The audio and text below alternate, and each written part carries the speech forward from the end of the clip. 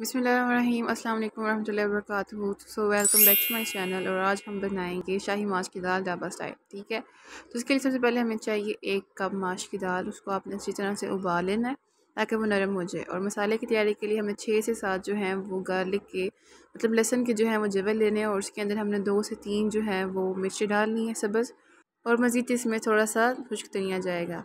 इसको आपने पेस्ट बना लेना है और उसको अच्छी तरह से हमने कूट लेना है। वैसे आप इसको ग्राइंड भी कर सकते हैं, मगर मैं इस तरह ज़्यादा प्रेफर करूँगी इसको।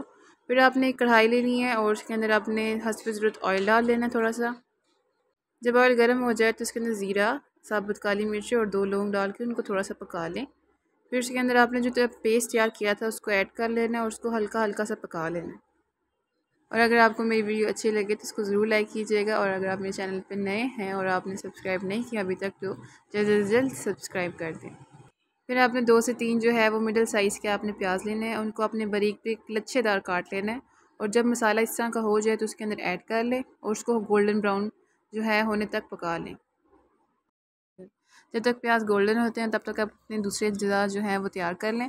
थोड़ा सा चिकन बॉईल करके उसको श्रेड कर लें और दो अंडे बॉईल कर लें साथ ही साथ जो है वो दो से तीन टमाटर जो हैं बरीक बारीक काट के रख लें।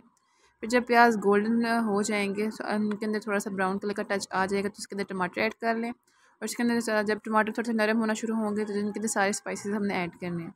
सबसे पहले जो है, वो हमने थोड़ा सा नमक डालना है हंसब का। आप उसको वन टीस्पून भी ले सकते हैं। वन टीस्पून आपने रेड मिर्ची डालनी है, फिर आपने थोड़ी सी हल्दी, थोड़ा सा चाइनीज़ नमक और थोड़ी सी काली मिर्ची इसके अंदर ऐड कर लेनी है। ठीक है, मुझे यहाँ पर जो था, वो दरपर मिर्ची डालना जो था, वो भूल गया था तो आप दरपर मिर्ची जो है, वो बाद में ऐड कर लेंगे। और आपने एक साथ सब्ज़ इलायची भी इसके अंदर ऐड कर लेनी है। फिर आपने जो चिकन श्रेड किया हुआ था, वो इसके अंदर ऐड कर लें। और इसको अच्छी तरह पका लें। फिर से ग्रेवी बनाने के लिए इसके अंदर पानी तो आस्ता आस्ता ऐड करें और इसको जो है मज़ीद पका लें।